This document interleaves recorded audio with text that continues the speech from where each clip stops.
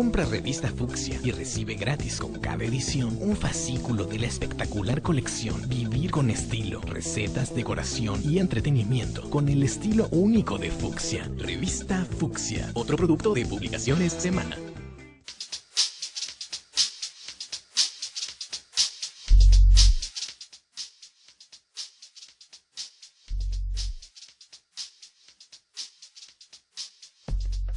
Tengo yo de villana en la vida real? Nada. Mi corazón es de azúcar y se lo comen las hormigas.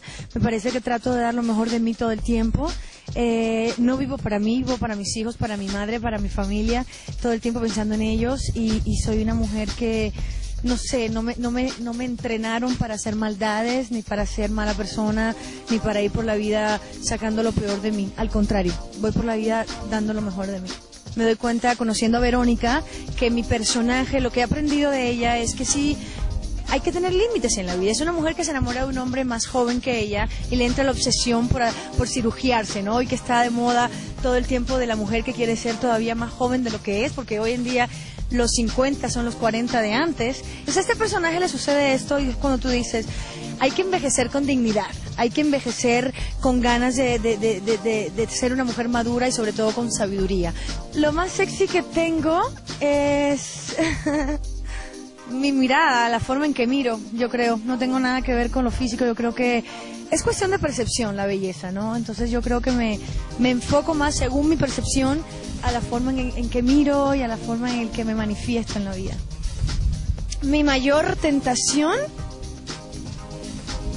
Ah, mi mayor tentación, wow, es el mar, yo creo. El mar es... Yo, nací en la isla de Cuba, entonces yo nací en el mar. Mi papá es capitán de la marina y mis fines de semana eran en un barco.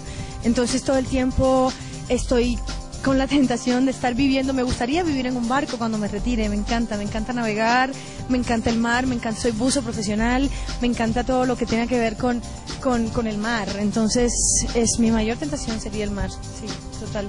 Lo más difícil que he afrontado en el oficio de la actuación ha sido estar separada de mis hijos, de mi familia, estar con corazón de aventurera, estar en una ciudad hoy, mañana otra y tenerme que separar de mi, de mi base, en este momento es Miami, y, y me cuesta mucho trabajo separarme de mis hijos, que son los amores de mi vida y lo más importante que me ha pasado en la vida.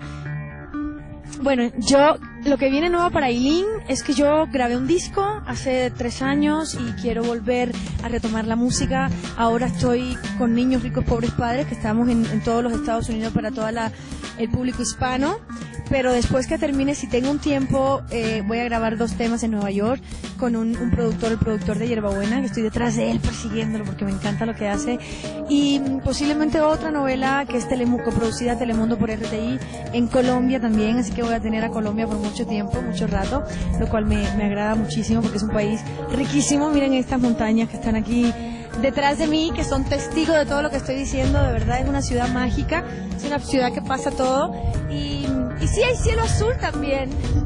Hay cielo azul también y hace un sol divino y la gente es espectacular y muy intensa. Entonces, así que me voy a quedar en Colombia para rato y, estoy feliz.